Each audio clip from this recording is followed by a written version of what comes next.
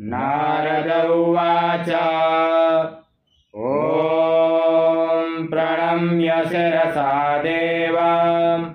गौरीपुत्रम् विनायक। भक्तावासं स्मरे नित्य। आयुष्कामार्थसिद्धये। प्रथमम् वक्रतुण्डम् च एकदन्तम् द्वितीयका। तृतीयम् कृष्णपिङ्गाक्षम् गजवक्त्रम् चतुर्थका। लम्बोधरम् पञ्चमम् च। षष्ठम् विकटमेव च। सप्तमम् विघ्नराजेन्द्र धूम्रवर्णम् तथाष्टम नवमम् भालचन्द्रम् च दशमम् तु विनायकम् एकादशम् गणपते।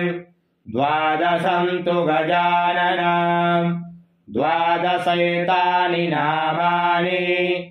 त्रिसन्ध्यम् यः पठेन्नरः न च विघ्नभयम् तस्य सर्वसिद्धिकरम् परा विद्यार्थी लभते विद्या।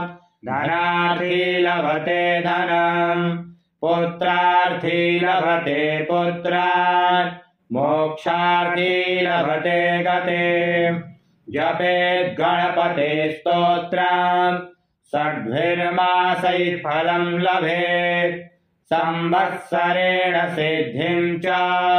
लभते नात्र संशयः अष्टभ्यो ब्राह्मणेभ्यश्च लिखित्वा यः समर्पयेत्।